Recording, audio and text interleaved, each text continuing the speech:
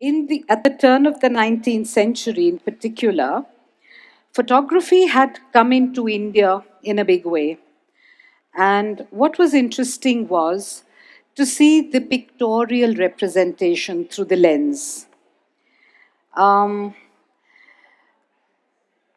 when photography happened in 1837 in France and Great Britain, it came very quickly to India because we were the jewel in the crown, and lots of people were visiting India. Uh, the English were very, very uh, interested in photography. Many of their civil servants and engineers, in particular, took to photography, and they also became professionals. They started as amateurs, but then they turned into professional photographers. So I'm going to begin. Actually, I've titled my talk Outside In and Inside Out. I'm actually looking at the way uh, photography was perceived, and also uh, I like this quote a lot. So I wanted to begin with this saying that to represent India by mere word painting is an almost impossible task. You know, the cultural diversity, the richness of the landscape, the, mm, uh, you know, the, the, the colors, the um, cultural traditions of the country were so uh, seductive, really, to the camera lens that photography literally had found its most uh, important muse in India. So, what we see is that the emergence of photography under the British rule in India was a dynamic case study because it not only furnished, furnished past and current discourses on the subject of photography, but it also led to newer discussions. And if you see colonial photography, whether it was in India, Africa, or other colonies of the empire, we see that it was not only an instrument of representation, but subject peoples also adopted photography for their own uses. And when we speak of shooting with the camera, we are also acknowledging the kinship of photography and, in some ways, conflict. And in India, in particular, the anthropological photographs made in the 19th century under the aegis of the colonial powers are images which are related and created, by, including by contemporary photojournalists. And what we see is that the colonial photography was a documentation of a lot of architecture, and then, of course, we will see of tribes of India as well. Now, uh, there was a pivotal role in the representation and the gaze. And what I'm wanting to basically show you through the photographs taken by the colonial photographers, the people who came from the West, and photography or photographs taken by Indians here, particularly Raja Deen Dayal. When you see the photographs, you will see uh, the difference in the way the lens or the eyes behind the technological lens or, or the lens of the camera saw and viewed the subject. Most of them, in fact, were, it was a complex gaze and most of these pictures were like single images. We do call them documentary. We do call them documents, but the, the documentary nature or definition of these colonial photographs is very different to how the contemporary definition of photography is, where you have a series of photographs which are a document. Here you see single images which make a document. So that's one of the uh, differences in the definitions of the photographs which I'm viewing of our past. Here I would like to actually quote one important theoretician, Frantz Fanon, uh, who uh, uh, was born in 1925. He was a psychologist and a volunteer during the Algerian Revolution, and in his semi biographical critical work called Black Skin, White Masks, writes about the psychological trauma of being identified as an object of the white gaze. Robbed of the possibility of being a full fledged modern subject, a person of color is determined from the outside as a thing, as an object of scrutiny. The colonial gaze, determined by a set of technologies and conventions for viewing colonial realities, underwrote colonial power. It turned people into observed objects and authorized official discourses of European viewers whose representations determined and fixed the status of colonized subjects. I'm going to begin with the works of John Murray, who first qualified as a doctor in Edinburgh in 1831 and in 1832 joined the East India Company Army Medical Service. He spent the following 17 years as a ship surgeon and was present as the first Sikh was present at the first Sikh or Sutlej War in 1845 or 46. What I'm going to do is I'm going to run through some of these pictures and also tell you about the photographer, what he did, and how it affected his photography. So his photographic career commenced after he became an officer in charge of the medical school in Agra in 1849. His photographs were first shown to the members of the Bengal photographic photographic uh, community and were included in the society's inaugural exhibition in March 1857. He took a selection of negatives back to Britain on his first leave in 1857, and they were published by Joseph Hogarth and mounted as single prints as a set of 30 in a portfolio. The Morning Post newspaper wrote, These views are not tinted. They are monochrome studies, now golden brown, uh, of a rich reddish sepia hue. Now they are grey and lucid, presently almost of a black Indian ink luster, but still in one form or another monochromes, and as such remarkable richness, mellowness, and a beautiful modulation of state, of shade and tone. Then I want to show you now the photographs of Captain Linnaeus Tripe which occupies, he occupies a special place in the history of 19th century photography for the outstanding body of work he produced in India and Burma. Because Burma, if you remember, was part of the colonial empire. It became independent only in 1935. Though he learned photography from Great Britain from amateurs who considered it um, a pastime, he recognized that it could be an effective tool for conveying information about unknown cultures and regions. He developed a professional practice under the auspices of a large bureaucracy of the East India Company and got a beautiful set of images in spite of the Indian heat and humidity. Now, I want to show you after this Felice Beatos, he's got some lovely, uh, he did some lovely albums, particularly of Lucknow. And he had a rich swath of uh, work from India, China, Japan, Korea, and Burma.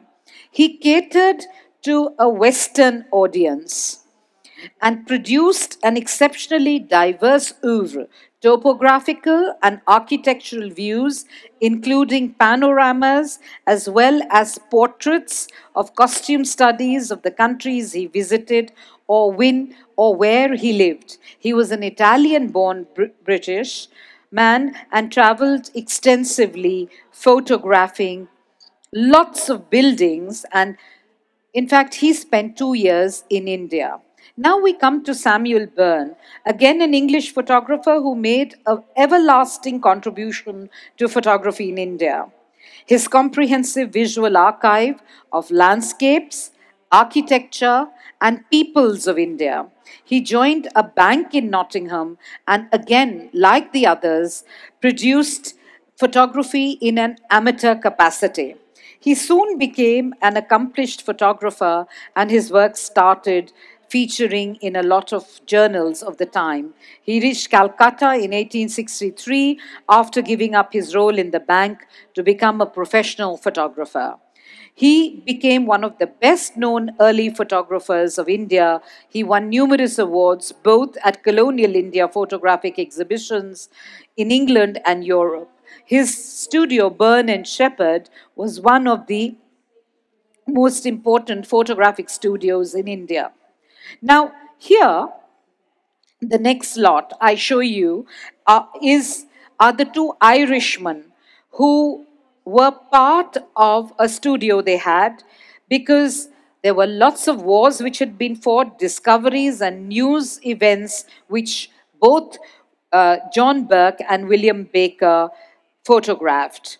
Now, what they did, they researched a lot and they chronicled lot of India in Peshawar. They moved to Murree, the Himalayan hill station of Kashmir, and they did a lot of documentation of the Afghan war. And what you see here is Baker and Burke's story, in some ways, is also the story of photography itself. Now, again, I'm going to show you another photographer, English photographer, whose name is F.A. Hawkes. Again, an engineer. He was an engineer in the northern uh, Bengal State Railways. And the he actually had a lot of pictures of the construction of the North Bengal State Railway scenes in Darjeeling, amateur theatricals, portrait groups, Richard Temple's camp in the Delhi Darbar, and this album of 84 images were taken between, which I showed you, were taken between um, 1868 and 19, 1894, and they also contained albumen prints. Next, I'm going to show you Cuthbert Christie, who also qualified in medicine at the University of Edinburgh. Now, he was a medical officer and a zoologist who worked for the Indian Medical Service between 1899 and 1901. During this time, he documented his travels across the region, taking photographs of scenes in Agra, Shimla, Srinagar, Surat, Punjab, and Bombay. 114 of his images are available online with the name Cuthbert Christie Album of India, along with two diaries that he kept during this period. Kashmir.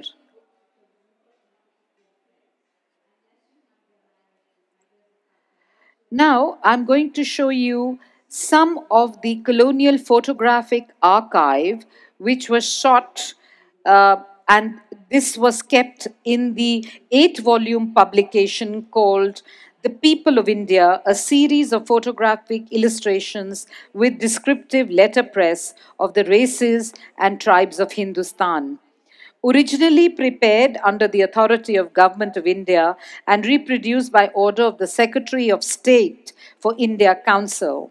The pasted photographs were accompanied by descriptive text, and these official albums were sent back to England to be maintained in the royal records. So, what you see here are a you know, it's a real objectification of the exotica, of the nativity of the land. And now I will I'll just show this back to you. So you have these portraits where they are staged and where they, they're actually shown as the naked Indian, uh, exotic, um, from the land. Their facial features also dark skinned, different kinds, and their description also, if you read in the uh, tribes of India, it's done in a very, very um, non empathetic manner. What I'm going to show you next is Raja Deen Dayal. He was an extraordinary man uh, who set up a studio in India and a very, very famous photographer of, uh, uh, studio photographer of this time. And what you see here is that in his photographs, photography also crossed the initial threshold and was making steady inroads into the territory of other graphic mediums. It was being adapted by lithographers and engravers who viewed it as a commercial alternative. He uh, was uh, photographing, born in 1844, a contemporary of Samuel Bourne. He was from Uttar Pradesh, who trained also as an engineer. He took up photography in 1864, and two years later, he uh, joined the government service at, as head administrator and draftsman. He established his studio Lala Deen Dayal and Sons in 1868 and was later appointed to take photographs of temples and palaces across India. After his retirement, the following year, he became the court photographer to the Nizam of Hyderabad in 1885, and his lens has captured exquisite photographs, if you see, of British India as well as native princely states. His portfolio, I'll just take you back to one or two, shows the opulence, rich costumes, jewelry, royal palaces, hunts, and parades, and all highlights of the bygone colonial era. His expansive body of Indian tableaus offers an enduring, wide ranging view of the subcontinent. In fact, in his photographs, you won't see that same kind of exoticization, but what you see is a different kind of composition. The composition of his work is quite staged. It's taken really, it's a mix of what you see in the portrait paintings or the oil paintings which came in from the imperial colonial masters. And you see the way he's staging it is very different. They're all staged. None of them are candid photographs. So it's a very very so if you see the difference between an indian photographing whether he's doing monuments or he's photographing people there's a different complete different aesthetics and a different sense of representation. Then I want to show you, this is something very interesting and something uh, which all of you will enjoy. This is um, a, work which is done by a photographer called Ashim Ghosh, who has actually uh, collected photographs from, and his, his whole um, uh, outfit was called the Casa Documentation Center. He collected and preserved for posterity photographs which with variegated experience and memories of this very intense nation. So these are all from the early part of the 20th century and see these were photographic studios which had been set up all over the uh, country. They were all set up in different towns, different cities. You'll see how people the social hierarchies you will see in these images. You will see people coming to take family pictures, typical pictures which you see uh, in pre independent India, where even the local people are going to get themselves photographed, marriage pictures. So, this is what I wanted to show you outside in and inside out. So, this was actually, um, it's a little unfortunate that you couldn't see the paintings of this period because you know i'd already made my presentation and i only got to know that uh, william is not coming. That was only yesterday. But had i known he wasn't coming i would have interspersed it with some of the colonial paintings of the raj and some of the paintings which were done by indian painters. And in this it would be raja ravi varma. It could also be Dhurandhar. And you could see how the uh, compositions in some of them were very similar to what Raja Deen Dayal did. Some of because um, I think uh, Ravi Varma too, though I'm not really an expert on Ravi Varma, but I have. Uh, he's one of the people we as art historians all read, but he was one of the people who was very much part of the technological uh, effect of technology because he was the one who set up, in fact, the first printing press where he brought out calendars and started replicating lots of images, painted images in an offset press. So these are things which, they are some of the things which I thought of and which I wanted to share with you. Um, so that's it. And if you want to ask me any questions, and I'd be happy to answer or have a discussion or Hello, ma'am. Uh, I'm Kanupriya. I want to ask that uh, what do you think that especially uh, British Raj gave uh, something distinct to Indian art, which is uh, still continuing.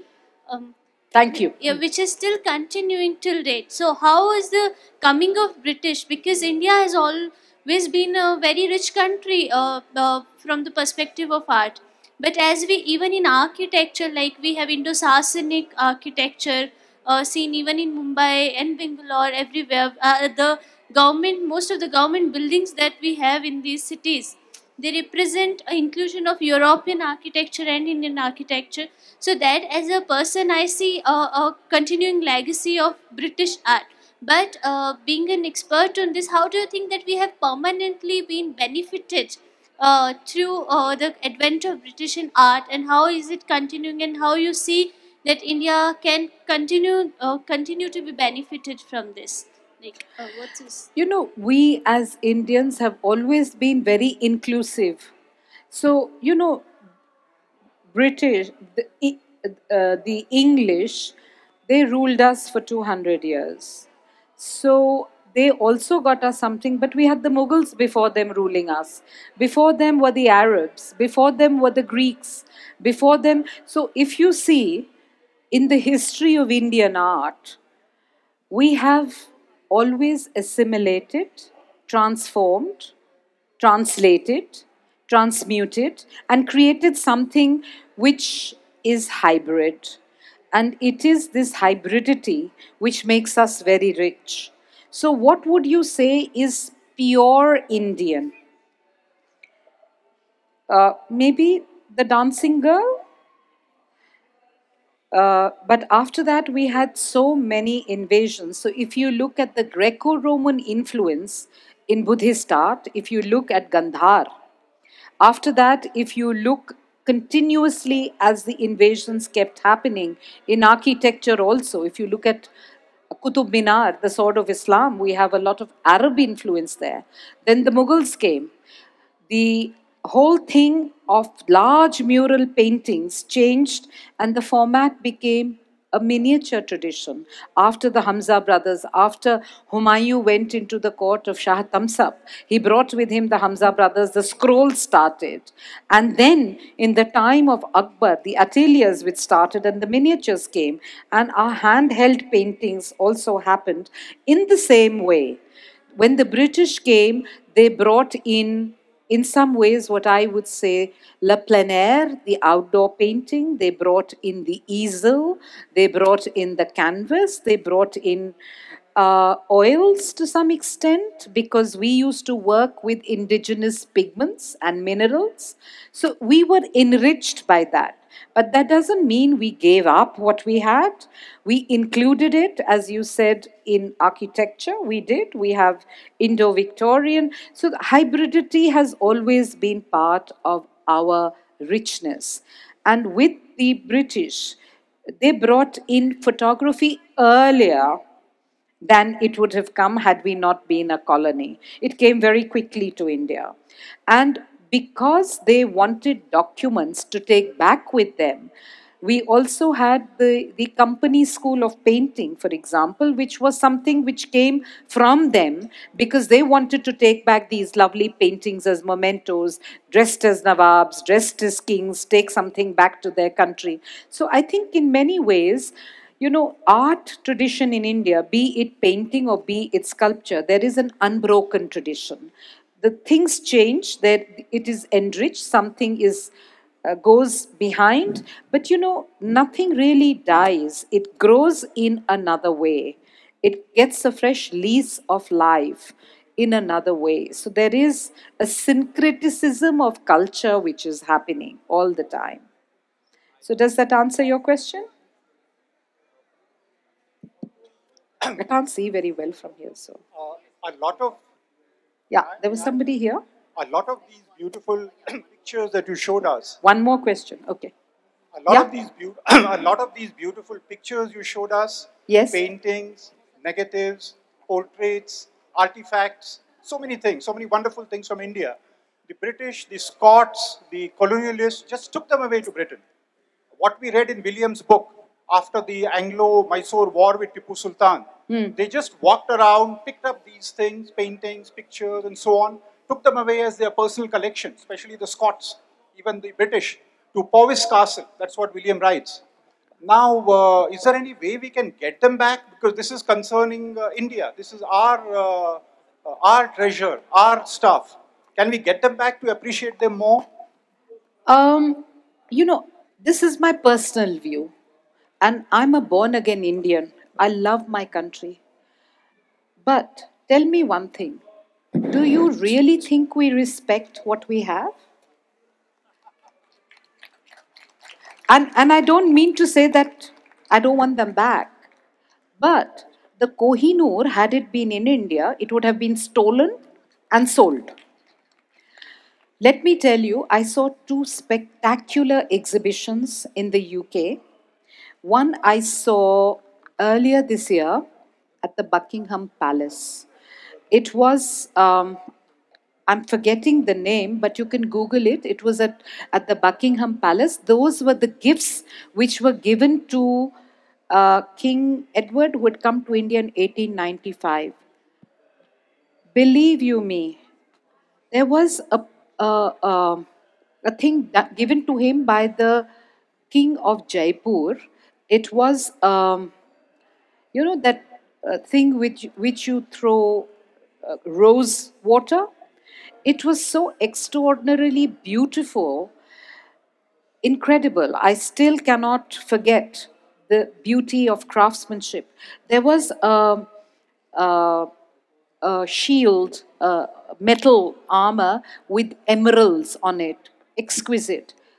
All those were shown at an exhibition uh, in the UK, and all the money which was collected from that exhibition, the exhibition was taken all over the UK.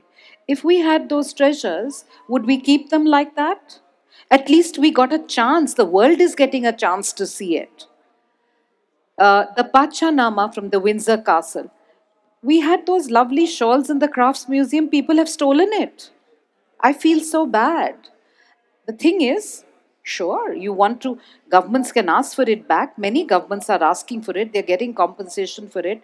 But as a born again Indian who loves my, I mean, I love my country, I love my heritage, but I see it being vandalized all the time. Yes, they took whatever they could, but that any ruler does. I mean, do you think if we went and ruled anywhere else, do you think we'd be any better? We also looted and plundered wherever we could. When, when there were uh, infighting between the Mahajana Padas, between the different rulers, they also looted. Why did Sati and Johar happen in India? Because they were Indians were also looting each other. This is always the fight which happens between the conqueror and the defeated. This is always the case. But as a person who loves beauty, as a person who really values art, as a person who is in the service of art, I wouldn't want these things to come back. They're kept so beautifully, they're displayed so well.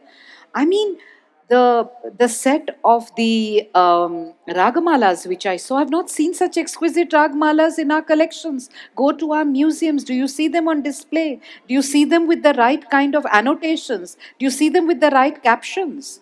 No. So this is my thing. But of course, you have you are absolutely right in wanting them back, and I'm very happy that they're being shown to the world. Some of the, mo- the most beautiful Navagrahas I've seen at the entrance, the back entrance of the British Museum. Every time I go there, I look at it and I feel so happy. Would I see the Navagrahas in the temples here? Now, thank God, we are getting a bit socially responsible. Maybe we need a little more maturity to value our beautiful objects. Thank you.